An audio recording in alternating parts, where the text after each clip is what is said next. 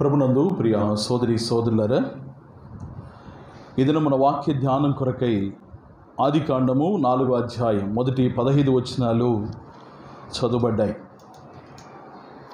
ఈ ఆది కాండంలో ప్రస్తావించబడిన ఈ సంఘటన నేటి దినాల్లో ఉన్న ఆయన పిల్లలుగా మనకు ఆత్మీయ పాఠాలు నేర్పించే సంఘటనగా మనము గమనించాలి. ఆదాము హవలను దేవుడు ప్రేమించి తన దయ వలన సంతానాన్ని అనుగ్రహించాడు. ఆ సంతానము చేసిన కార్యాలు దాని విషయంలో దేవుని ప్రతిస్పందన అనే సంగతులు ఇందులో మనము గమనించవలసిన వారుగా ఉన్న ప్రభుచితమైతే రానున్న దినాల్లో ఈ వారంతో కలుపుకొని బైబిల్ గ్రంథంలో ఆది కాండంలో ప్రాముఖ్యంగా కనబడుతున్న అన్నదమ్ముల విషయమై కొన్ని ఆత్మీయ పాఠాలు మనము నేర్చుకోగలం. ప్రార్థనాపూర్వకంగా ఆయా సందేశాలు మనము ఆలకించవలసిన వారుగా ఉన్నా. ఈ కయ్యను హేబేలు వీరి చరిత్ర బైబిల్ గ్రంథాన్ని చదువుతున్న వారందరికీ బాగా పరిచయమైన చరిత్రనే. ఆదాము హవలు దేవుని ఆజ్ఞను మీరి అవిధేయులైన కారణం చేత దేవుడు వారి నిమిత్తమై ప్రత్యేకంగా నిర్మించిన ఏదేను తోట నుండి వారిని వెలివేసిన వా వారుగా వెలివేయబడిన వారుగా వారిని మనం గమనిస్తాం. దేవుని సృష్టి అయిన ఆదాము హవలు దేవుని గణపరచవలసిన వారుగా ఉండగా అపవాది ఆలోచనను స్వీకరించి ఆ ఆలోచన ప్రకారం వారు ప్రవర్తించి దేవుని సన్నిధికి వారు దూరమయ్యారు. ఆత్మ సంబంధమైన మరణం వారిని ఏలినట్లుగా మనము లేఖనాల్లో చూడగలం. వారు ఏదైనా తోట నుండి వెలివేయబడిన తర్వాత వారి జీవితంలో దేవుని దయ మరలా కనపరచబడిన సంగతిని నాలుగో అధ్యాయం ప్రారంభోచనంలో మనం చూస్తూ ఉన్నాం. హవ కైనును కన్న తర్వాత యహోవా దయ వలన అనే మాట మనం గమనించాలి. దేవుని దయ గురించిన జ్ఞాపకం మరల హవ్వ చేసుకుంటూ ఉంది. దేవుని దయను వారు సంపూర్ణంగా అనుభవించిన వారు. దేవుని ప్రేమను సంపూర్ణముగా అనుభవించిన అనుభవం వారికి ఉంది. అయితే ఆ అనుభవం నుండి వారు దూరపరచబడ్డారు. తిరిగి దేవుడు వారిని ప్రేమిస్తున్న విధానాన్ని ఇక్కడ మనం గమనిస్తున్నా దేవుని దయ వలన నేను ఒక మనుష్యుని సంపాదించుకున్నాను అనేను. తర్వాత ఆమె అతని తమ్ముడుగు హెబేలును కనెను. హెబేలు గొర్రెల కాపరి కయ్యను భూమిని సేద్యపరచువాడు. వారికి దేవుడు అనుగ్రహించిన ఇద్దరు కుమారులు వారు ఏం చేస్తున్నారో వారి వృత్తులు ఏంటో అనే సంగతి కూడా పరిశుద్ధాత్మ దేవుడు ఈ గ్రంథంలో రాయించిన వాడిగా మనం గమనించాలి. కయ్యిలు హేబేలు అన్నదమ్ములు ఒకే తల్లి గర్భాన జన్మించిన వారు. వారిద్దరు ఒకే కుటుంబానికి చెందినవారు. ఇద్దరు దేవుణ్ణి ఎరిగిన వారే. దేవుని గురించిన అవగాహన వారిద్దరూ కలిగిన వారుగా ఉన్నారు. ఆ కారణాన వారిద్దరూ దేవునికి అర్పణ చెల్లించటానికి వారు సిద్ధపడిన వారుగా మనం గమనిస్తున్నాం మూడవ వచనంలో నాలుగో వచనంలో వారి అర్పణలు మనం చూడగలం. ఇద్దరు ఒకే కుటుంబానికి చెందినవారు ఇద్దరు దేవుణ్ణి ఎరిగిన వారు దేవునికి అర్పణ చెల్లించటానికి వారు సిద్ధపడిన వారు అంత మాత్రమే కాకుండా వారిద్దరూ అర్పణ అర్పించిన వారు ఇద్దరు అర్పించిన అర్పణ దేవుడు చూచాడు. కయ్యను అర్పణ అర్పించినప్పుడు దేవుడు చూశాడు. హేబేలు అర్పణ అర్పించినప్పుడు దేవుడు చూచాడు. దేవుడు చూచిన విధంగానే వారు అర్పణలు అర్పించారు. అయితే అక్కడ ఒక ప్రత్యేకత ఏంటంటే రాయబడిన మాట నాలుగో వచనంలో మనం గమనిద్దాం చివరి భాగంలో. యహోవా హేబేలును అతని అర్పణను లక్ష్య పెట్టెను. యహోవా హేబేలును అతని అర్పణను లక్ష్య పెట్టెను.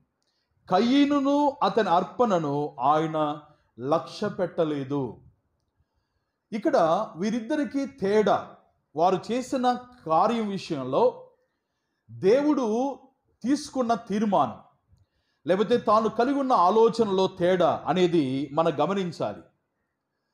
మొదట నేను తెలియజేసిన మాట ఏంటంటే ఇద్దరు ఒకే కుటుంబానికి చెందినవారు ఒకే తల్లి గర్భాన జన్మించిన వారు.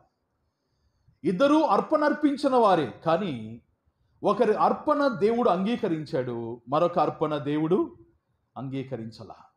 ఒక అర్పణను దేవుడు లక్ష్య పెట్టిన వాడుగా ఉన్నాడు మరొక అర్పణను దేవుడు లక్ష్య పెట్టలేదు. అర్పణ మాత్రమే కాదు అక్కడ గమనించవలసిన మరొక మాట ఏంటంటే దేవుడు హేబేలును అతని అర్పణను లక్ష్య పెట్టాడు. కయ్యనును అతని అర్పణను లక్ష్య పెట్టలేదు. అంటే అర్పణను లక్ష్య పెట్టడానికి దేవుడు ఆ వ్యక్తులను చూస్తున్న రీతిని మనం గమనించాలి. అర్పణ లక్ష్య పెట్టబడాలి అంటే వారి జీవితాలు చాలా ప్రాముఖ్యమైనవి. జీవితాలు దేవుడు గమనించేవాడుగా ఉన్నాడు. వారి జీవితాన్ని బట్టి అర్పించే అర్పణ దేవుడు అంగీకరించాడు. అంగీకరించలేదు. ఈ రెండు ప్రస్తావనలు అక్కడ మనం గమనిస్తాం. అర్పణ తెచ్చిన వారు ఇద్దరు అర్పణ అంగీకరించబడింది ఒక్కరే అర్పణ అంగీకరించబడిన వాడు కూడా ఒక్కడే. ఎందుకు దేవుడు అన్నదమ్ముల విషయంలో అలాంటి అభిప్రాయాన్ని కలిగిన వాడుగా ఉన్నాడు? ఇద్దరు ఒక కుటుంబానికి చెందిన వారు ఇద్దరూ దేవుని ఎరిగిన వారే ఇద్దరూ అర్పణ అర్పించడానికి వచ్చిన వారే అర్పణ అర్పించిన వారే కానీ ఒకరిని దేవుడు ఎందుకు ఎన్నుకున్నాడు? ఒకరిని దేవుడు ఎందుకు లక్ష్య పెట్టలేదు? ఇది మనం ఆలోచించవలసిన ప్రాముఖ్యమైన మాట.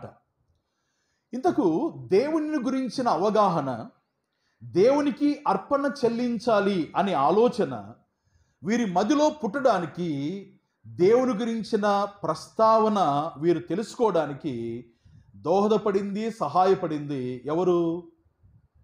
తల్లిదండ్రులే. ఎందుకంటే అక్కడ ఇక మిగతా జనం ఎవరు లేరు? కేవలం ఆదాము హవ్వ కయ్యను హేబేలు మాత్రం ఉన్నారు. ఇప్పుడు కయ్యను హేబేలు జన్మించిన ఆ సమయంలో దేవునితో ఆదమహవలకు సంబంధం లేదు. వారు దేవుణ్ణి ఆరాధించేవారుగా లేరు. వారు దేవుని నుండి దూరపరచబడిన వారుగా మనం గమనిస్తాం. దేవుడు వారిని భద్రపరిచిన వాడుగా ఉన్నాడు. అంత మాత్రమే కాకుండా దేవుడు వారికి వస్త్రాలు కుట్టి తొడిగించిన వాడుగా ఉన్నాడు. అది వ్యక్తిగతంగా వారు దేవుడు వారి మధ్య కలిగి ఉన్న ఆ ప్రస్తావన మనం చూస్తాం. కానీ కయ్యను హేబెలు జన్మించిన తర్వాత దేవుని గురించిన అవగాహన కల్పించబడింది కేవలం తన తల్లిదండ్రుల ద్వారా మాత్రమే. ఇప్పుడు దేవుని సన్నిధికి వెళ్ళాలి అర్పణ అర్పించాలి. ఇది తల్లిదండ్రుల ద్వారా వారికి బోధించబడిన బోధ. ప్రభు యొక్క బోధలో వారు ఆ శిక్షణ చేయబడిన వారుగా మనం చూస్తాం.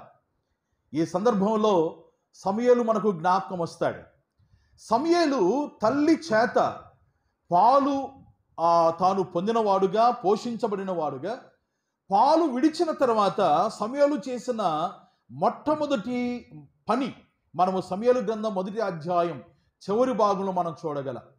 అతడు యహోవాకు అక్కడనే మొరొక్కెను అనే మాట రాయబడింది. చూడండి ఒకసారి సమయాలు మొదటి గ్రంథం మొదటి అధ్యాయము చివరి వచ్చినాన్ని ఒక సోదరుడు చదివి సహాయపడండి.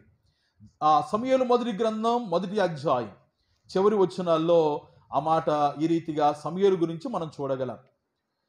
ఇరవై ఎనిమిదో వచ్చిన ఇరవై ఎనిమిదో వచ్చిన ఎవరైనా చదువుతారా? ఆ. నేను ఆ బిడ్డను యహోవాకు ప్రతిష్ఠించుచున్నాను. తాను బ్రతుకు దినములన్నిటను వాడు యహోవాకు ప్రతిష్ఠితుడని చెప్పెను. అప్పుడు వాడు యహోవాకు అక్కడనే మొరక్కెను. యహోవాకు అక్కడనే మొరక్కెను. మొక్కేది ఎవరు నేర్పించారు? యహోవాకు యెహోవాకు అందరికి మొక్కేది కాదు. కదండి? అందరికి మొక్కే నేర్పించాల హన్న? హన్న ఏమి నేర్పించిందంటే ఎవరికి మొక్కాలో వారికే మొక్కేటట్టుగా నేర్పించింది. ఇది మనం తెలుసుకోవలసిన ప్రాముఖ్యమైన సత్యం. మనం నేర్పించాలి. ఏమి నేర్పించాలో అదే నేర్పించాలి. నేర్పించకూడనివన్నీ నేర్పించామంటే రేపొద్దున నెత్తి నొప్పి తప్పదు. తల్లిదండ్రులుగా మన పిల్లలకు ఏమి నేర్పించాలో అది మనం నేర్పించాలి. వారికి నేర్పించినప్పుడు వారు పెద్దవారైన తర్వాత దాని నుండి తొలగిపోరు అనే లేఖనాన్ని కూడా దైవ గ్రంథంలో మనం గమనిస్తూ ఉన్నాం. కాబట్టి కయ్యను హేబేలు అర్పణ అర్పించటానికి వారిని వారికి సహాయపడింది తల్లిదండ్రుల బోధ. ఇప్పుడు ఆ బోధ ప్రకారం వారిద్దరూ అర్పణ తీసుకొని వచ్చారు. అయితే ఒకరి అర్పణ అంగీకరించబడింది మరొక అర్పణ అంగీకరించబడలేదు. ఈ సందర్భంగా మరొక వచనాన్ని మనం చదువుకుందాం. మత్తయి రాసిన సువార్త. మత్తయి రాసిన సువార్తలో మనం గమనిస్తే ఏడవ అధ్యాయం ఏడవ అధ్యాయం ఏడవ అధ్యాయం. ఇరవై నాలుగో వచ్చిన నుండి మనం గమనిద్దాం. ఇరవై నాలుగో వచ్చినము నుండి. లేకపోతే ఇరవై మూడు నుండి చదువుదాం. అప్పుడు నేను మిమ్మును ఎన్నడును ఎరగను. అక్రమము చేయువారులారా నా యుద్ధ నుండి పొండని వారితో చెప్పుదును. ఇక్కడ అక్రమము చేసే వారి విషయంలో ప్రభువారి యొక్క తీర్మానం మనం చూస్తూ ఉన్నాం. అక్రమము చేసేవారు దేవుని చేత ప్రేమించబడేవారుగా ఉండరు. దేవుని చేత అంగీకరించబడేవారుగా ఉండరు. ఇప్పుడు కయీను అంగీకరించబడలేదు హేబేలు అంగీకరించబడ్డాడు. దాని అర్థం ఏంటి? హేబేలు క్రమానుసారమైన బలిని అర్పణను తాను అర్పించిన వారుగా మనం చూడాలి. కయ్యను అంగీకరించబడలేదంటే అతడు అక్రమముగా ప్రవర్తించినట్లుగా మనము ఆలోచించాలి. అక్కడ రాయబడిన సంగతులు ఆ రీతిగానే ఉన్నాయి. ఇంతకు క్రమం ఏంటి ఇరవై నాలుగు వచ్చినం కాబట్టి ఈ నా మాటలు విని వాటి చొప్పున చేయు ప్రతి వాడును బండ మీద తన ఇల్లు కట్టుకునిన బుద్ధిమంతుని పోలి ఉండును. ఆ తర్వాత పరీక్షలు ఎదురయ్యాయి. ఆ పరీక్షల్లో వాని ఇండ్లు స్థిరముగా నిలిచినట్లుగా మనం చూస్తాం. ఈ వ్యక్తి ఎవరు? మాట విని ఆ రెండవది ఏంటి వాటి చొప్పున చేసినవాడు. మాట విని వాటి చొప్పున చేసిన వాడు బుద్ధిమంతుడు.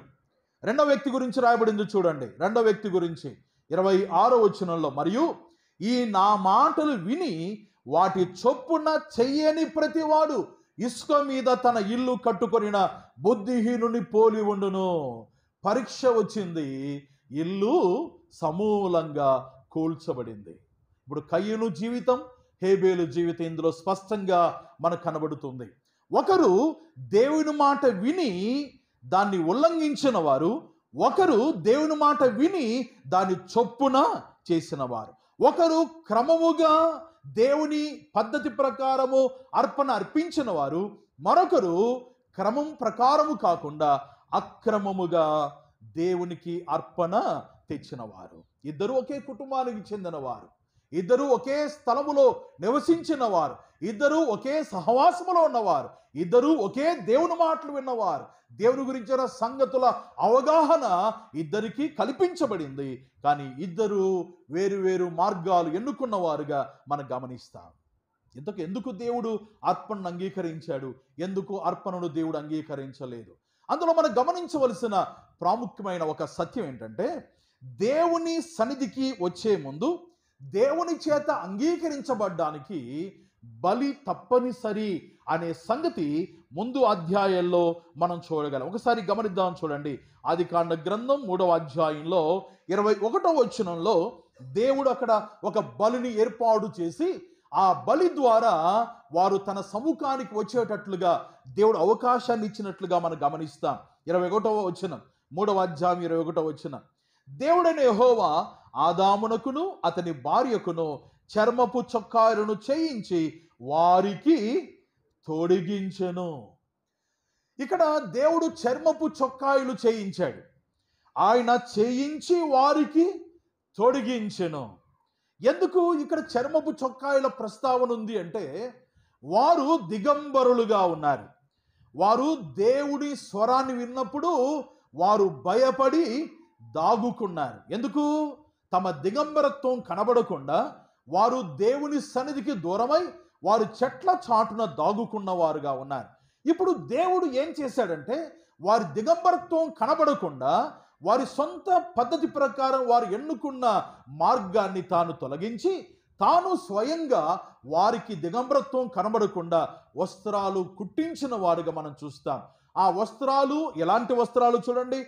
చర్మపు వస్త్రాలు చర్మపు చొక్కాయి అంటే చర్మము అనేది అది ఒక జీవాన్ని చూపించేదిగా ఉంది. అక్కడ ఒక బలిని మనం గమనించాలి. అక్కడ చర్మము రావాలి అంటే ఒక బలి జరగాలి. ఇప్పుడు దేవుడు ఒక బలిని అక్కడ చేసిన వాడుగా ఉన్నాడు. ఆ బలి ద్వారా వారు దిగంబరత్వాన్ని కప్పుకున్నవారుగా దేవుని సన్నిధికి వారు కనబడడానికి అవకాశం కల్పించబడిన వారుగా మనము గమనించాలి. ఈ బలుని గురించిన వ్యాఖ్యానం చాలాసార్లు మనం విన్నదే. ఆ బలి మన ప్రభుని యేసుక్రీస్తు వారిని కనపరిచేదిగా ఉంది. ఆదిలోనే దేవుడు మన కొరకు బలిగా సాదృశ్య రూపకంగా అప్పగించబడ్డాడన్న సంగతి మనము లేఖనాలను బట్టి అర్థం చేసుకోగలం. ఇప్పుడు ఇదే కయ్యను హేబేలు మొట్టమొదటిసారి దేవుని సన్నిధికి వస్తున్నప్పుడు దేవుని చేత వారు అంగీకరించబడాలి అంటే ఎందుకు అంగీకరించబడాలి? వీరు ఆదాము పుత్రులు గనుక. ఆదాము పుత్రులైన వీరు పాపముతో జన్మించారు గనుక. ఆదాము ద్వారా లోకములో పాపం ప్రవేశించింది. పాపము ద్వారా మరణం మనుషులందరినీ ఏలినట్లుగా రోమాపత్రిక ఐదో అధ్యాయంలో మనం చూడగలం. ఒకసారి ఆ వచ్చిన భాగాన్ని కూడా తెరిచి ఈ సందర్భంగా మనం చూద్దాం చూడండి.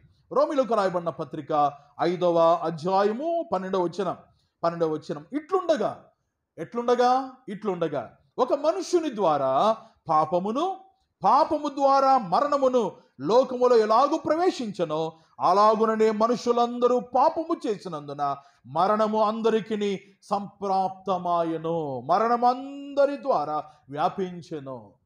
ఇప్పుడు ఆదాము చేసిన ఒక్క పొరపాటు ద్వారా ఆదాము సంతానముగా వారు పాపములో ఉన్నవారుగా మనం గమనించాలి.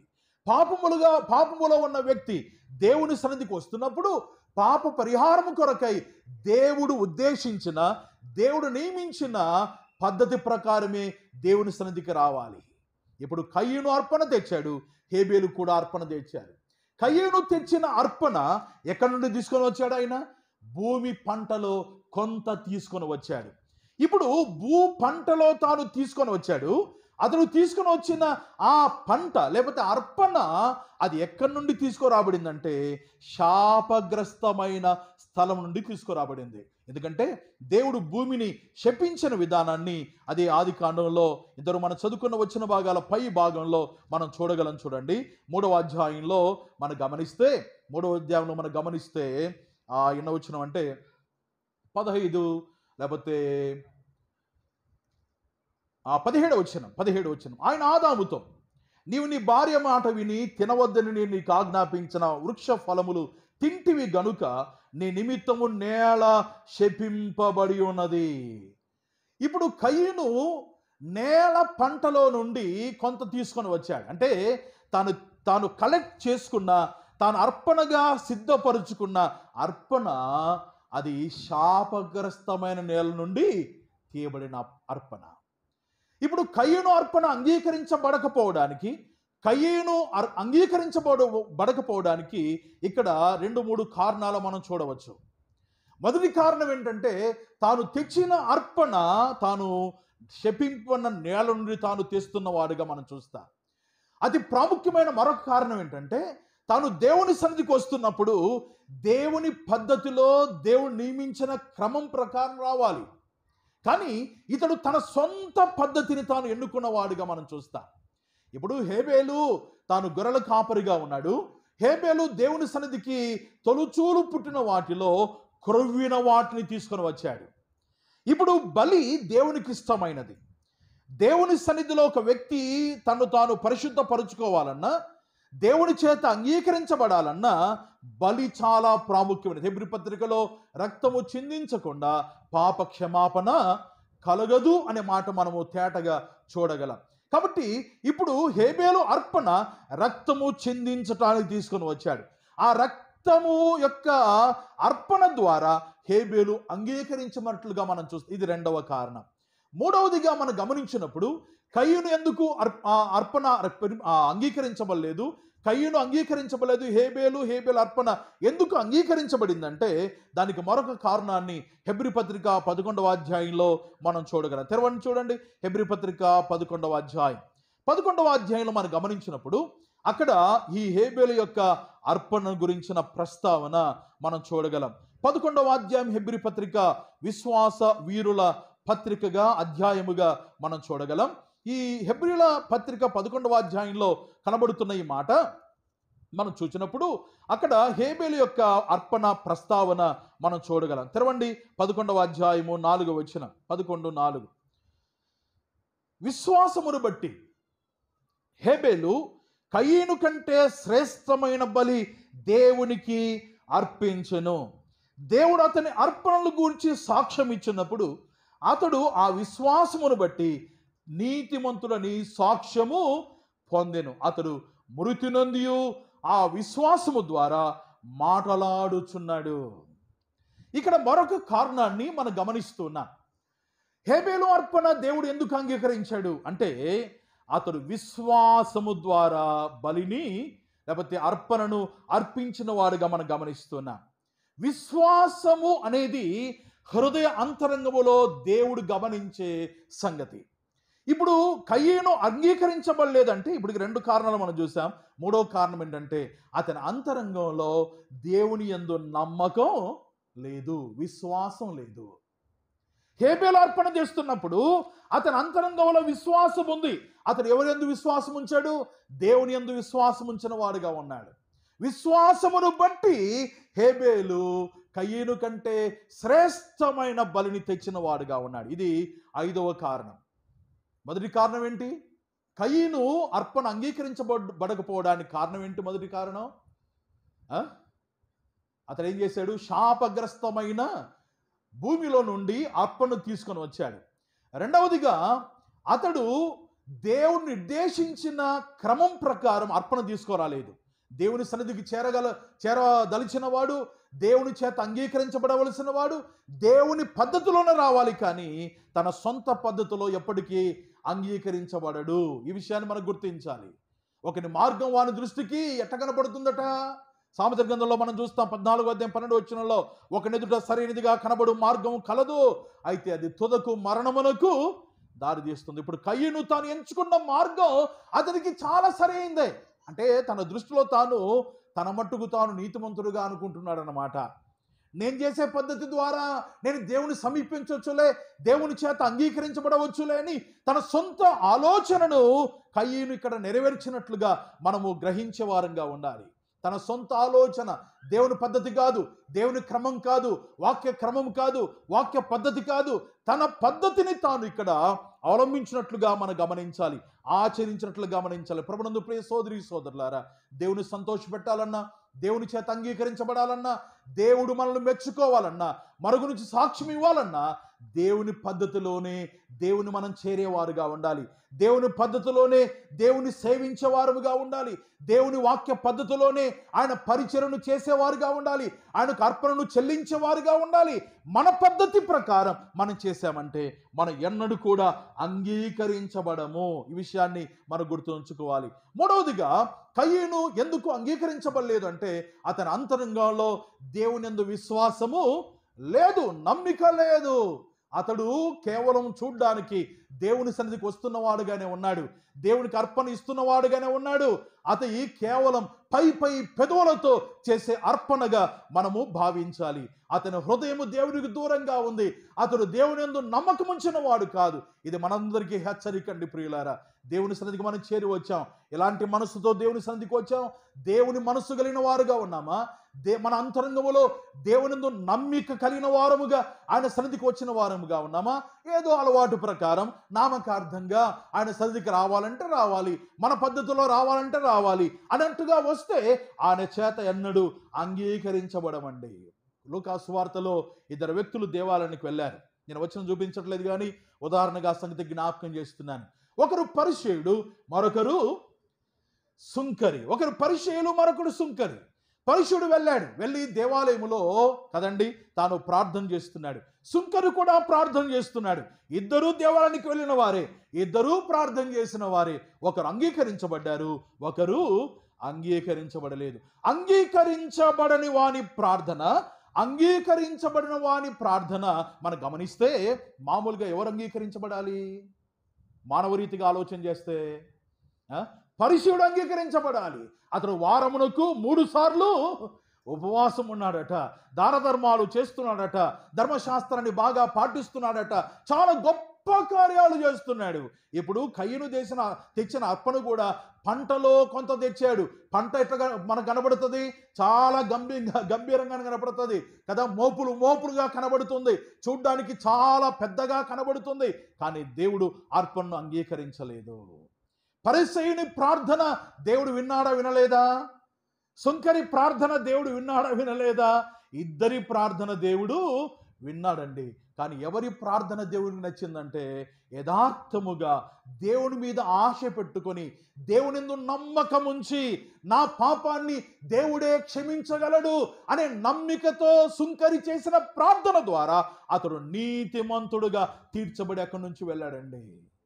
మన అర్పణ మన అంతరంగంలో ఉన్న విశ్వాసాన్ని బట్టి ఆధారపడి ఉంటుంది. మన అర్పణ అంగీకరించబడాలన్నా దేవుని చేత మనం అంగీకరించబడాలన్నా మన హృదయ అంతరంగములో ఉన్న స్థితిని బట్టి అది అంగీకరించబడుతుందనే సత్యాన్ని మనం గమనించే వారంగా ఉండాలి. నాలుగవ కారణాన్ని మనం గమనిస్తున్నాం. అతడు శ్రేష్టమైన బలిని అర్పించిన వాడుగా మనం చూస్తాం. అతని అర్పణ శ్రేష్టమైన అర్పణ. ఇదే మా భాగంలో పదకొండు నాలుగులో మనం చూస్తున్నాం. శ్రేష్టమైన బలి దేవునికి అర్పించినప్పుడు కైన్ తెచ్చింది శ్రేష్టమైంది కాదు. దేవుని దేవునికి అర్పించేది ఏదైనా సరే అది బెస్ట్ ఉండాలి కదండి.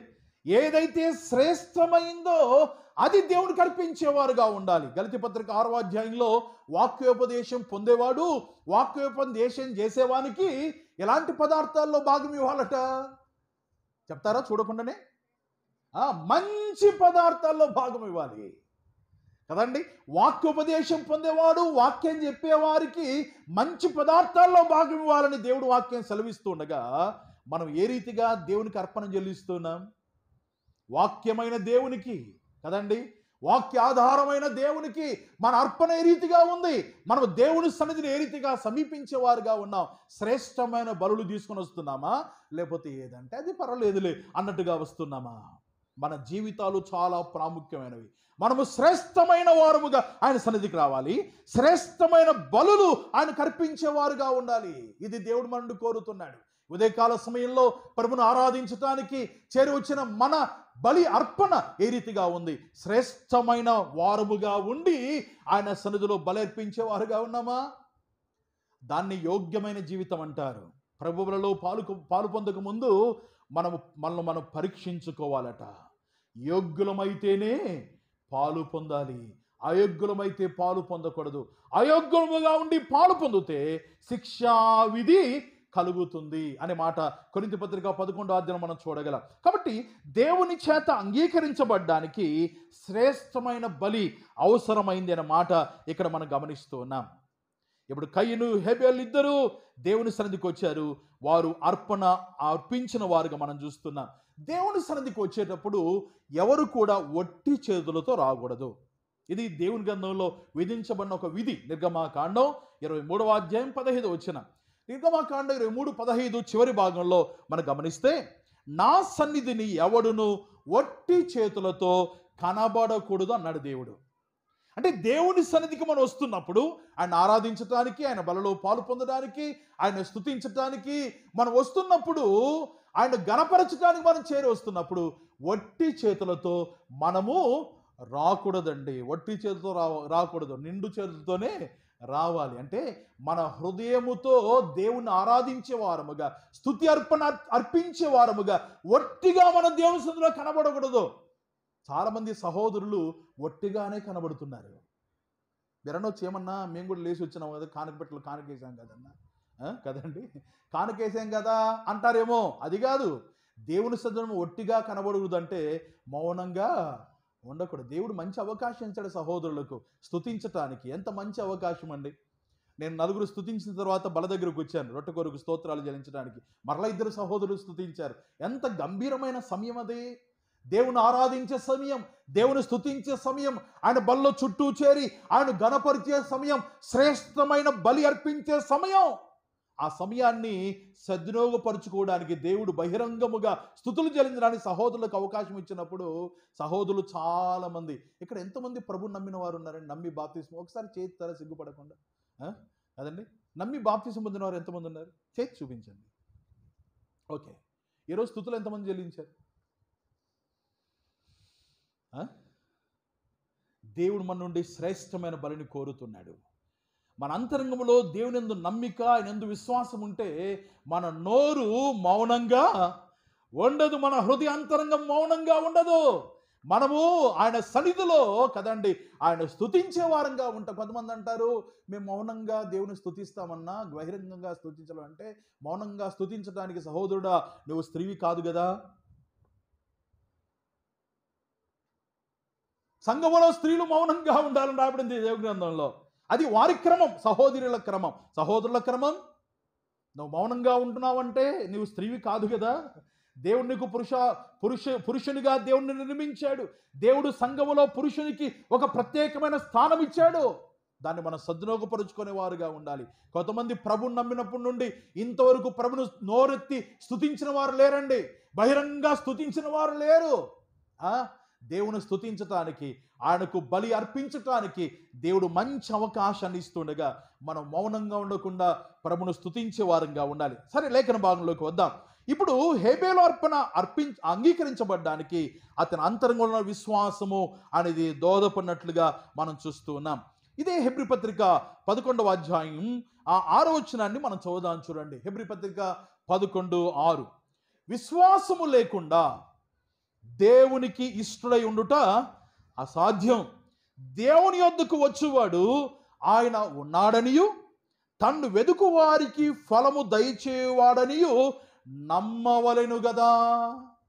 ఆ, విశ్వాసము లేకుండా దేవునికి ఇష్టడై ఉండుట అసాధ్యం. ఇప్పుడు హేబెలు దేవునికి ఇష్టడుగా కావడానికి కారణం ఏంటి? అతడు విశ్వాసము కలిగిన వాడుగా ఉన్నాడు. దేవుని ఎందు నమ్మిక ఉంచిన వాడుగా ఉన్నాడు. ఏమని నమ్మిక ఉంచాడు? నేను దేవుని దగ్గరికి వెళుతున్నాను. దేవుడు నా బలి అంగీకరిస్తాడు. నన్ను తన బిడ్డగా చేర్చుకుంటాడు. నన్ను అంగీకరించేవాడుగా ఉంటాడు అని తన హృదయ అంతరంగములో తనకు ఫలము దయచేవాడని నమ్మిక తాను కలిగిన వాడుగా ఉండి దేవుని సన్నిధికి వెళ్ళాడండి. విశ్వాసము ద్వారా హైబేలు శ్రేష్టమైన బలిని అర్పించిన వాడుగా మనం గమనిస్తున్నాం విశ్వాసము లేకుండా దేవునికై దేవునికి ఇష్టలుగా ఉండుట అసాధ్యం అండి విశ్వాసం అనేది ఒక వ్యక్తి రక్షణకు మూల కారణం. ఒక వ్యక్తి విశ్వాస జీవితానికి విశ్వాసమే ఊపిరి లాంటిదండి. ఒక విశ్వాసి విశ్వాసముతో ఉండాలంటే అతను కలిగి ఉండవలసిందేంటి? విశ్వాసం. విశ్వాసి శ్వాస విశ్వాసం. విశ్వాస యాత్ర విశ్వాసమే. మనము ఎవరైపు చూడాలి? విశ్వాసానికి కర్తవైపు చూడాలి. అంటే విశ్వాసులుగా మన విశ్వాసము విశ్వాసం మీద ఆధారపడి ఉంది. మన విశ్వాస కర్త వైపు మనం చూస్తూ వెళ్ళాలి. మన శ్వాస ఎల్లప్పుడూ విశ్వాసమే. విశ్వాసము లేకుండా మనము దేవునికి ఇష్టలుగా ఉండలేమండి. హేబేలు విశ్వాసము ద్వారా దేవునికి ఇష్టడుగా చేయబడినవాడుగా మనం గమనిస్తున్నాం. ఇప్పుడు ప్రశ్న ఏంటంటే విశ్వాసులుగా మనం ఉన్నాం కానీ అంతరంగంలో విశ్వాసం ఉందా? దేవుడు అంటే నమ్మిక ఉందా? దేవుని సంపూర్తిగా నమ్మగలుగుతున్నామా? దేవునందు సంపూర్తిగా విశ్వాసం ఉంచగలుగుతున్నామా? అతడు దేవుని నమ్మెను అది అతనికి నీతిగా ఎంచబడిన. ఆది కాండ పదహైదవ అధ్యాయంలో అబ్రహాము గురించి రాయబడిన మాట. అతడు యహోవాను నమ్మాను. ఎవరు నమ్మాడు? యహోవాను నమ్మాడు. యహోవా అంటే అర్థం ఏంటి? ఉన్నవాడు. ఆయన ఉన్నవాణ్ణి నమ్మాడు. ఆ దేవుని చేత నీతిమంతుడుగా తీర్చబడ్డాడు. కాబట్టి ప్రభునందు ప్రియ సోదరి సోదరులారా మనము విశ్వాసము కలిగిన వారుగా ఉన్నామా? రోమ పది ఏడులో రాయబడుతుంది వినుట వలన విశ్వాసము కలుగుతుంది. అది దేవునికి మనల్ని విధేయులుగా చేస్తుంది. విశ్వాసము దేవుని మాట విన్నట్లు చేస్తుంది.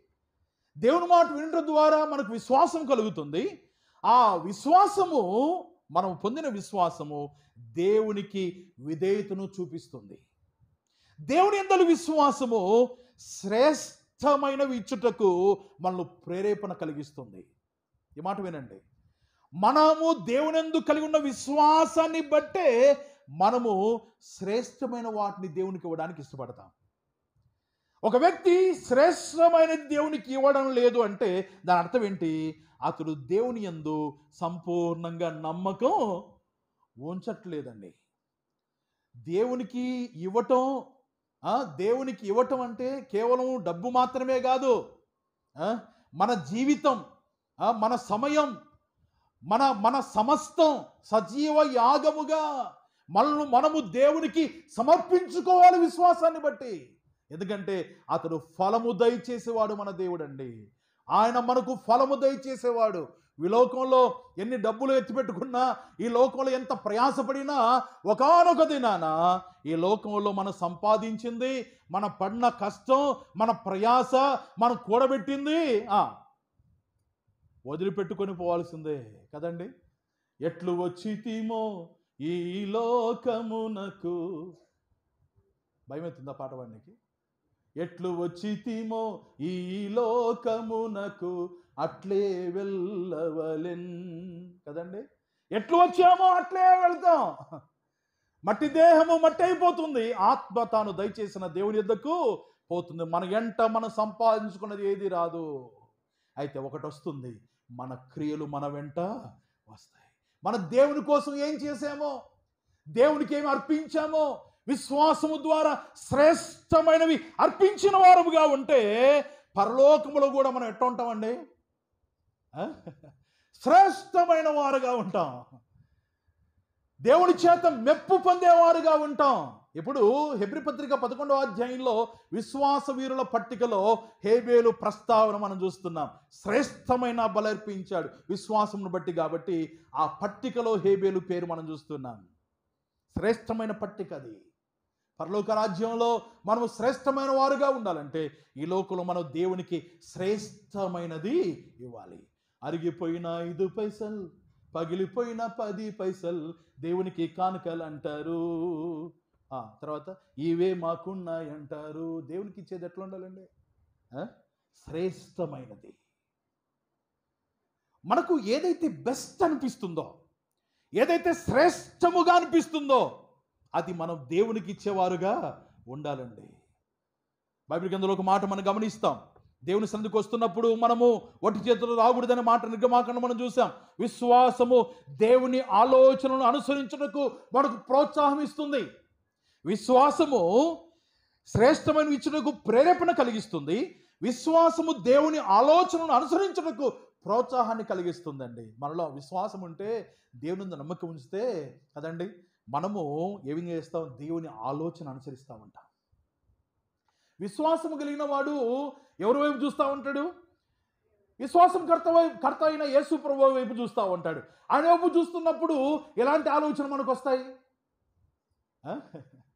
ఆయన వైపు చూస్తున్నప్పుడు మన ఆలోచనలు కూడా ఆయన ఆలోచనలు అనుసరించే ఉంటాయి. ఆయన వైపు చూడకపోతే కదండి మన ఆలోచనలన్నీ కూడా గందరగోళంగానే ఉంటాయి. మన దేవునికి ఇచ్చేది కూడా ఏముంటుంది? శ్రేష్టమైంది ఉండనే ఉండదు. ఏదో ఒకటి సరిపోతుందిలే దేవునికి ఇవ్వడం కదండి? ఆదివారం వస్తే సరిపోతుందిలే దేవునికి సన్నిధికి. అంతేనా? ఏ- ఈ వ్యాఖ్యానం జరిపిందా శ్రేష్టమైనది మన జీవితంలో శ్రేష్టమైనది ప్రతి సమయం దేవునికి మనం ఇచ్చేవారుగా ఉండాలండి. ఏదో ఆదివారం వారానికి ఒక రోజు వస్తే సరిపోతుంది. వీళ్ళు ఎంతమంది అండి ఆదివారం విశ్వాసులు? ఆదివారం విశ్వాసులు ఎంతమంది? మీకు అనిపిస్తుంది కదా ఆదివారం ఒక్కటే శ్రేష్టమైందని? మిగతా దినాలు శ్రేష్టమైనవి కావా? మిగతా కూడికలు శ్రేష్టమైనవి కాదా? మిగతా కూడికలు దేవుని సన్నిధిని మనం మనం అనుభవించడానికి ఉపయోగపడే కూడికలు కాదా? ఎందుకు నిర్లక్ష్యం చేస్తా ఉన్నాం ఎందుకు నిర్లక్ష్యం చేస్తున్నామంటే దేవుని ఎందు విశ్వాసం అనేది మన అంతరంగంలో ఎ- ఎట్లుంది? ఆ, ఆదివారం మాత్రమే ఉందన్నమాట. ఆదివారం విశ్వాసులం. ఒక ఆయన అంటున్న బహిరంగానే నాతో. మేము ఆదివారం వల్లనేనా అంటున్నాడు. ఎంత ధైర్యం అండి ఆ మాట అనడానికి? మనం నవ్వుకుంటా. మేము ఆదివారం వల్లనేనా అంటే ఏమైంది నీకు? మిగతా దినాలు ఏమైపోయావు నువ్వు? దేవుడు సమయం ఇవ్వడం లేదా? దేవుడు అవకాశం ఇవ్వడం లేదా? దేవుడు ఆరోగ్యం ఇవ్వలేదా? మన ఫిలిపగ్గులు వాక్యం చెప్పినప్పుడు చెప్పాడు కదండి ఉద్యోగం వచ్చినాక ఆయన ఏమన్నాడంటే? ఆయన ఏం చేసినాడంట? ఆరాధన కూడా ఎగరెట్టినాడంట అప్పుడు దేవుడు అనుకున్నాడంటే వీనికి ఉద్యోగం ఇవ్వడమే. కొంతమంది ఉద్యోగస్తులు అలసిపోయి ఇచ్చినామన్నా ఉద్యోగం ఇవ్వకుండా ఉంటే కదండి? దేవుడు ఎంత ప్రేమిస్తున్నాడో మనం అంత శ్రేష్టమైన రీతిగా దేవునికి ఆ దేవుని ఆలోచన అనుసరించి ఆయనకి ఇచ్చేవారుగా ఉండాలండి. విశ్వాసం ద్వారా అర్పించిన అర్పణ దేవుని చేత అంగీకరించబడుతుంది. విశ్వాసం ద్వారా అర్పించిన అర్పణ దేవుని చేత సాక్ష్యం పలికిస్తుందండి. ఇప్పుడు హేబియలు అర్పణను బట్టి దేవుడే సాక్ష్యం చెప్తున్నాడు. దేవుడే సాక్ష్యం ఇస్తున్నాడు ఏమని సాక్ష్యం ఇస్తున్నాడు ఎప్పుడు పత్రిక మనం చూసాం కదండి. దేవుడు ఏమని సాక్ష్యం ఇస్తున్నాడు చూడండి. పదకొండవ అధ్యాయం నాలుగు వచ్చిన మనం చూస్తున్నాం. దేవుడు అర్- అర్పణ గురించి సాక్ష్యం ఇచ్చినప్పుడు అతడు ఆ విశ్వాసమును బట్టి నీతిమంతులని సాక్ష్యము పొందాను. విశ్వాసము ద్వారా నీతిమంతులని సాక్ష్యం పొందాడండి. ఎంత గొప్ప విశ్వాసం! హేబేలు విశ్వాసం ఏబేలు అర్పించింది. లోకాసు వార్త పంతొమ్మిదో అధ్యాయంలో మనకందరికీ బాగా పరిచయమైన వ్యక్తి కనబడతాడు. అతని పేరేంటండి? లూకాసు వార్త పంతొమ్మిదో అధ్యాయంలో. అతని పేరేం పేరు? జక్కయ్య. కదండి జక్కయ్య? జక్కయ్య పొట్టివాడే. కదండి? కానీ అతడు చేసిన కార్యం గొప్ప కార్యం అండి శ్రేష్టమైన కార్యాన్ని చేశాడు జక్కయ్య. యేసు ప్రభు వారు పలకరించి జక్కయ్య నేడు నీ ఇంట ఉండవలసి ఉన్నది అని అన్న వెంటనే జక్కయ్య త్వర త్వరగా దిగాడు. మేడి చెట్టు కదండి? తన ఇంట్లో ఏసైను చేర్చుకున్నాడు. ఏసై ఇంటికి వచ్చిన వెంటనే కదండి? ఈ జీవితంలో మార్పు కలిగింది. ఇప్పుడు శ్రేష్టమైనవన్నీ జక్క ఏం చేస్తున్నాడండి? అర్పిస్తున్నాడు. నా ఆస్తిలో సగం బీదలకు ఇస్తున్నాను అన్నాడు కదండి? నేను ఎవరైతే ఎవరి దగ్గర అయితే అక్రమంగా తీసుకున్నానో వారికి నాలుగంతలు చెల్లిస్తాను. ఈ మాటలు విన్న ప్రభువారు వెంటనే ఏమన్నాడు? నేడు ఈ ఇంటికి రక్షణ. అతని విశ్వాసమును బట్టి ఇతడు అబ్రహ ఇతడును అబ్రహాము కుమారుడే. అంటే అర్థం ఏంటి? ఇప్పుడు జక్కయ్య ఆ రీతిగా తెగింపుతో తనకున్న ఆస్తి అంతా ఇవ్వగలుగుతున్నాడంటే ఎవరి మీద నమ్మకం ఉంచి? ఈ రోజు నేను దేవునికి ఇస్తున్నాను రేపొద్దున పరలోకంలో అది నేను చూస్తాను. ప్రభుకి ఇచ్చేటప్పుడంతా మన హృదయ ఆలోచన అదే ఉండాలండి. మనం దేవునికి ఇస్తున్నప్పుడంతా అది కానుక కానీ దశంభాము కానీ దేవుని సొమ్ము కానీ స్వేచ్ఛార్పణ కానీ అవసరాన్ని బట్టి ఇచ్చేది కానీ అది ధర్మము కానీ అది ఏదైనా కానీ మనం దేవునికి ఇస్తున్నప్పుడు దీనికి నేను పరలోకంలో ఫలితాన్ని పొందుతాను. ఆయన ఫలము దయచేస్తాడు అనే ఉద్దేశంతో నమ్మికతో మనం ఇస్తే దేవుని చేత మెప్పు పొందుతామండి సాక్ష్యం పొందుతాము. ఇప్పుడు హేబేలను బట్టి దేవుడు సాక్ష్యం ఇస్తున్నాడు. అతడు విశ్వాసం బట్టి అర్పించిన అర్పణను బట్టి అతడు నీతిమంతుడని సాక్ష్యము పొందిన. మనకి ఎలాంటి సాక్ష్యం దొరుకుతుంది? సాక్ష్యం ఉందా మనకు? కదండి సాక్ష్యం ఉందా? దేవుడు మన గురించి సాక్ష్యం ఇవ్వగలడా? అలనాడు జక్కయ్య గురించి దేవుడు ఇచ్చిన సాక్ష్యాన్ని బట్టి. కదండి ఎంత దేవునికి ఘనత అండి. ఇతరుడు అబ్రహాము కుమారుడే నేడు ఇంటికి రక్షణ వచ్చి ఉన్నది. మనల్ని బట్టి దేవుడిచ్చే సాక్ష్యం ఈ రీతిగా ఉండబోతుంది. అనేక మంది పరిశుద్ధులు ఎదుట మనం నిలబడినప్పుడు క్రీస్తు న్యాయపీఠం మీద నిలబడినప్పుడు మళ్ళీ ఒక్కొక్కరిని దేవుడు లెక్క చూసినప్పుడు కదండి? ఒక్కొక్కరి జీవితాన్ని లెక్క చూసినప్పుడు మన అంతరంగాన్ని దేవుడు చూసినప్పుడు మన ప్రవర్తన దేవుడు చూసినప్పుడు అక్కడ లెక్క అడుగుతున్నప్పుడు దేవుని చేత మనం మంచి సాక్ష్యాన్ని పొందే స్థితిలో ఉన్నామా? క్రీస్తు న్యాయపీఠం అనేది ఎప్పుడు జరుగుతుంది అది? సంఘము ఎత్తబడిన వెంటనే జరిగే కార్యక్రమం అదండి. ఏడేండ్లు కదండి ఆకాశ మండలంలో ప్రభుతో మనం ఉంటాం.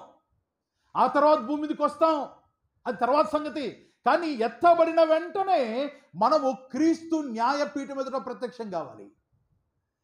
అక్కడ దేవుడు మన జీవితాన్ని పరిశీలిస్తాడు. మనం శ్రేష్టమైనది అర్పించామా? మనంతరంలో విశ్వాసం ఉందా లేదా? దేవుని సన్నిధికి ఏ రీతిగా వచ్చాము? దేవునికి ఏ రీతిగా అర్పణలు చెల్లించాము? దేవుని కొరకు ఏ రీతిగా జీవించాము? మన జీవితం ఏ రీతిగా మనం బ్రతికాము? ఇదంతా దేవుడు మనల్ని ఎక్కడగబోతున్నాడండి ఈడ మనము పై పైన పై పైన బాగా కనపడుతున్నాం. కదండి? టిక్ టాక్న. పైన పటారం బాగా కనపడుతుంది. పైకి మాత్రం చాలా బాగా కనపడతా ఉన్నాం. కానీ అక్కడ పోయిన తర్వాత ఉన్నదంతా బయటపడుతుంది. ఈడ చాలా హుందాగా చాలా కదండి ఆ ఘనతగా కనబడుతున్నాం. కానీ అక్కడ పోయిన తర్వాత మన హుందాతనం ఏంటో మన గౌరవం ఏంటో మన ఘనత ఏంటో మన స్థితి ఏంటో మన పరిస్థితి ఏంటో అంత దేవుడు వరుసగా లెక్క అడిగి దాన్ని తేటతలం చేస్తాడు. ఎప్పుడు హుందాగా ఎక్కడ కనబడి ఉంటాం ఓ మంచి విశ్వాసం ఆయన అన్నట్టుగా ఉంటుంది. అడిపోయినాక దేవుడు ఒక్కొక్కటి బడి తీస్తుంటే ఈయన ముఖం ఎట్లా ఉంటుందంటే మురుసుకుపోయి మురుసుకుపోయి మురుసుకుపోయి తలదించుకుంటాడు అంతే. ఎవరిలాగా? కైన్లాగా కదండి? దేవునికి మనం అర్పించే అర్పణ. మీకు ఆ గ్రంథంలో భక్తులు అంటున్నాడు ఆరో అధ్యాయం తెరవండి ముగిస్తాను. తర్వాత సంగతులు మరలా విందాం. లుక్ మీకు ఆ గ్రంథం? మీకు ఆ గ్రంథం ఆరో అధ్యాయం. ఆరు నుండి ఎనిమిది వరకు మనం చదివితే ఆరు నుండి ఎనిమిది వరకు మనం చదివితే అక్కడ భక్తుడు అంటున్నాడు ఏమి తీసుకుని వచ్చి నేను యహోవాను దర్శింతును? ఏమి తీసుకుని వచ్చి నేను యహోవాను దర్శింతును? తెరిచారా? మీకు ఆ గ్రంథం ఆరో అధ్యాయము ఆరు నుండి ఎనిమిది వరకు.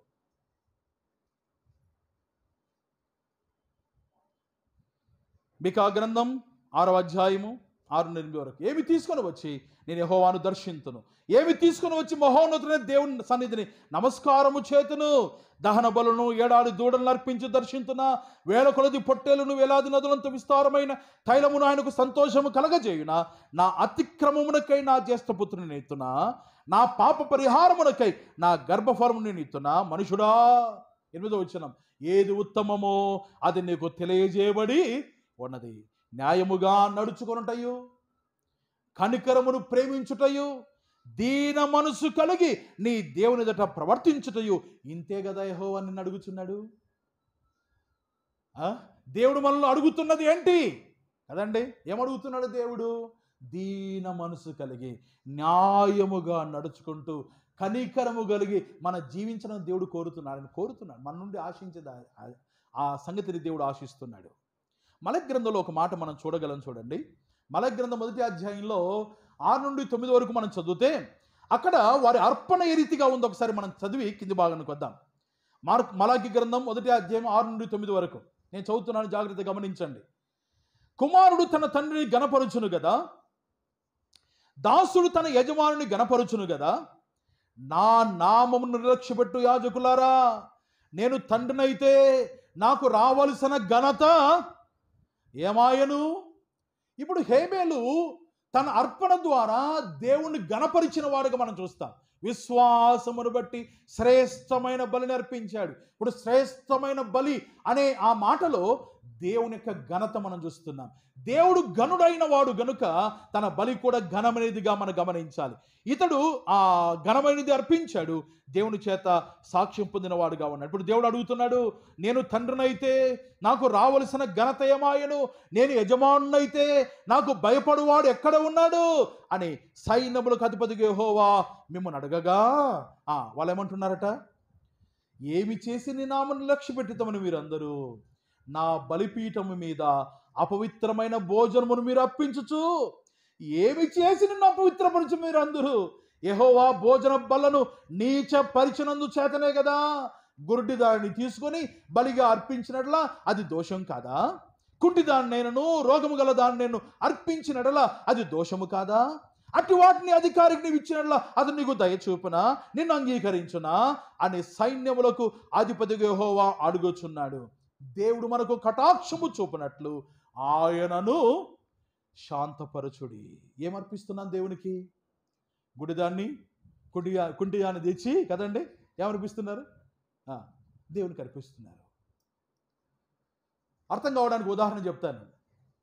ఇప్పుడు మనం ఏది పొందుతున్నా ఎవరి నుంచి పొందుతుంటాం? దేవుడన్నా ఇచ్చేది? నమ్ముతున్నారు దాన్ని అందరూ? దేవుని ద్వారానేనా? ఏమన్నా? దేవుని ద్వారానే కాదా? ఇప్పుడు నీకు బిజినెస్ ఉంది. ఆ బిజినెస్లో దేవుడు ఇస్తున్నాడు. దేవుని ద్వారానా? లేకపోతే నీ సొంతంగా ప్రయాసపడుతున్నావు? దేవుని ద్వారానే. దేవుడు మనకు సమస్తాన్ని ఇస్తున్నాడు. ఇప్పుడు దేవునికి మనం ఇచ్చేది ఎట్లా ఉండాలి కుంటిది ఉండకూడదు గుడ్డిది ఉండకూడదు అంతే నాకు రాయబడింది. ఏమైనా వాళ్ళు ఇస్తున్నారంట? కుంటి దాన్ని ఇస్తున్నారు. తర్వాత గుడ్డి దాన్ని తీసుకొని వస్తున్నారు. మూడోది రోగం గలది. అంటే కుంటిదాన్ని దాన్ని ఇవ్వకూడదు గుడ్డి దాన్ని ఇవ్వకూడదు రోగము గల దాన్ని ఇవ్వకూడదు ఏమి ఇవ్వాలి? శ్రేష్టమైంది ఇవ్వాలి. ఇప్పుడు దేవుడు మనకి ఇచ్చిన దానిలో నుండి అది మన జీవితం కావచ్చు జీతం కావచ్చు.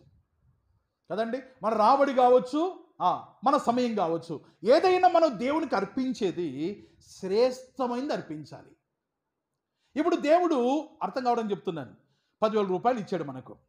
పదివేల రూపాయలు ఇచ్చాడు. ఇందులో శ్రేష్టత ఎంతది? శ్రేష్టమైంది ఏంది? ఆ?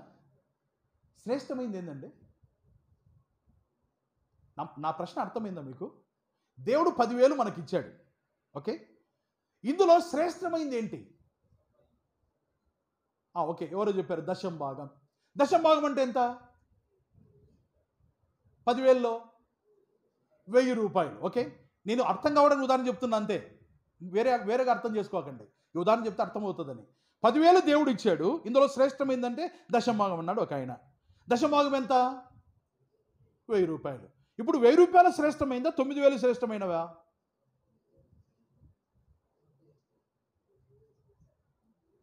జస్ట్ ఊరికి ఆలోచన చేద్దాం. ఇప్పుడు వెయ్యి రూపాయలు శ్రేష్టమైందా? తొమ్మిది వేలు శ్రేష్టమైనవా? మీరేమంటారు? దశంభాగం కాదన్నా ఇరవై భాగాలు అంటారేమో. నెక్స్ట్. ఇప్పుడు రెండు వేలు శ్రేష్టమైనవా ఎనిమిది వేలు శ్రేష్టమైనవా? చెప్పండి. ఏది శ్రేష్టమైంది? ఏదైతే ఎక్కువగా ఉందో అది శ్రేష్టమైంది. ఇప్పుడు దేవునికి ఏమి ఇవ్వాలి మనం? అది కొత్త మందన కొత్త నిబంధన విధించిన విధి ఏంటి? నీ ఒరిజినల్లో కొలది దేవునికి ఇవ్వాలి. ఇప్పుడు దశంభావం కిందనే ఉన్నామంటే మనం దేవునికి ఏమి ఇస్తున్నట్టు? కుంటిది ఆ, గుడ్డిది? రోగం గలది. అంతేనండి. మీరేం బాధపడిన పర్వాలా? దేవుని వాక్యం చెప్పేది అది. శ్రేష్టమైనది మనం దేవునికి ఇవ్వాలి. కొంతమంది దిగమింగు కూర్చుంటున్నారు. తెలుసా? జీవితాన్ని దిగమింగుతారు. మొత్తం వారి కోసమే వారి సంసారం కోసమే. దేవుడిచ్చిన జీతం కూడా దిగమింగి కూర్చుంటున్నారు. ఏ మాకేం అవుతుందిలే మరి. ఎప్పుడైనా మీటింగ్ పెట్టినప్పుడు ఎంతో ఇస్తే సరిపోతుందిలే. కదండి? శ్రేష్టమైంది దేవునికి ఇవ్వడానికి ఇష్టపడటంలా. సమయంలో శ్రేష్టమైన దేవునికి ఇవ్వాలి. ఇప్పుడు ఉదయకాలం లేచిన వెంటనే కదా శ్రేష్టమైన సమయం ఏందండి? దినంలో ఆ? దినములో శ్రేష్టమైన సమయం ప్రశాంతమైన సమయం కదా? నెమ్మదిగా ఉండే సమయం ఏంటి? తెల్లవారుజామున కదండి. వేకోజామున లేచి కదండి ఆ శ్రేష్టమైన సమయాన్ని మనము దేవునికి ఇవ్వకుండా ఆ వేకుజామున ఆ శ్రేష్టమైన సమయంలో ఆ, ఏం చేస్తున్నాం గోరికలు పెట్టి నిద్రపోతున్నాం. ఇప్పుడు దేవునికి ఏమి ఇవ్వాలి? శ్రేష్టమైన సమయం. మధ్యాహ్నం భోజనం చేసాం ఆ? దేవుడు కడుపు నిండా భోజనం ఇచ్చాడు కదా తృప్తిగా తిన్నాం. ఇప్పుడు ఆరోగ్యకరమైన సమయం అది. శ్రేష్టమైన సమయం. దాన్ని ఏం చేస్తారు మధ్యాహ్నం? టైం దొరికితే ఆ ముసుగు దాన్ని నిద్రపోవటం. ఏ మోకరించి ప్రార్థన చేస్తే ఏమవుతుంది? దేవుని వాక్యాన్ని ధ్యానం చేస్తే ఏమవుతుంది? కదండి శ్రేష్టమైనవన్నీ మన దేవునికి ఇచ్చేవారుగా ఉండాలండి.